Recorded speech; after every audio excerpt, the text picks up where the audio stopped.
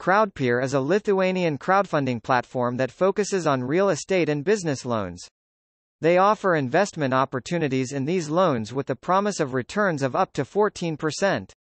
Crowdpear offers the possibility of high returns. You can start investing with just 100 euros on some loans. They claim to offer investment in loans secured by real estate, potentially reducing risk. Crowdfunding is inherently risky. There's always a chance of borrowers defaulting on the loans. Once you invest, it may be difficult to get your money back quickly. You're reliant on the borrower repaying the loan. The company itself is relatively new, founded in July 2021, so there's a shorter track record compared to established investment firms. But the shareholders behind both Crowdpear and PeerBerry are the same.